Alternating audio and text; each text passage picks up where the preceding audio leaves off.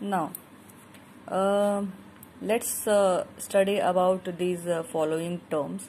Uh, in the earlier video which i had uh, in which i had taught you about the classification of matter in that part you had uh, studied that the matter is classified according to the pure substances and mixture. So according to the pure substance it is divided into two parts elements and compounds.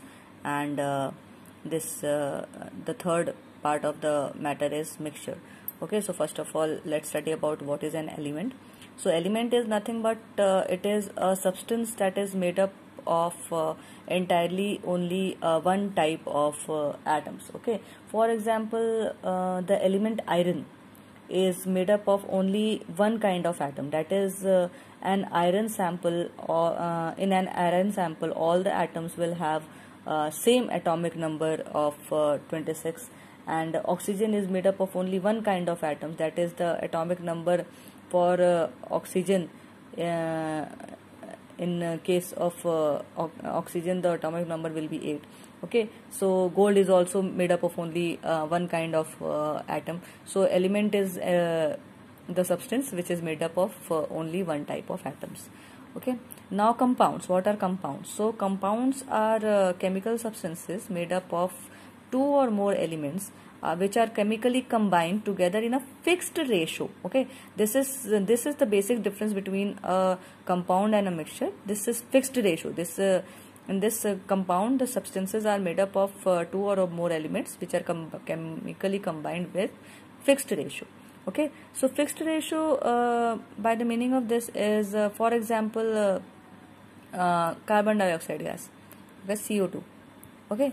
So for example carbon dioxide gas uh, the formula for carbon dioxide gas is CO2 means it has one carbon atom and uh, two oxygen atom. Okay. So uh, whatever the source of uh, the carbon dioxide gas is whether it is the uh, exhalation of uh, human beings or the smoke which comes out from the cars or the vehicles which run on the road okay? So uh, whatever the source of uh, the carbon dioxide gas is the composition of the gas will be the same. Means that it will contain one carbon atom and two oxygen atom only whatever is the source of this gas okay? So this is what we mean by fixed ratio okay? So in this uh, the compounds uh, are substances which are made up of two or more elements which are chemically to, um, combined together in a fixed ratio. Okay so that is why it is called as fixed ratio. Okay next is your a mixture uh, mixture. Mixture is a combination of uh, two or more uh, pure substances in which each pure substance retain its individual chemical properties. Okay so mixtures are uh, basically uh, made up of two or more sub, substances. Okay so one more thing which i want to draw your attention towards it is that mixture uh, in mixtures the com uh, combination of the substances is not in a fixed ratio okay? So the ratio is not fixed. Okay the combination ratio is not fixed basically.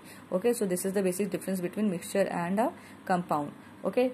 Uh, mixture you can say the example for a mixture is uh, soil okay? Soil is a very good example of mixture in which uh, we have different uh, types of uh, materials uh, but uh, they are not combined in a fixed ratio. Okay so this is all about your elements compound and mixtures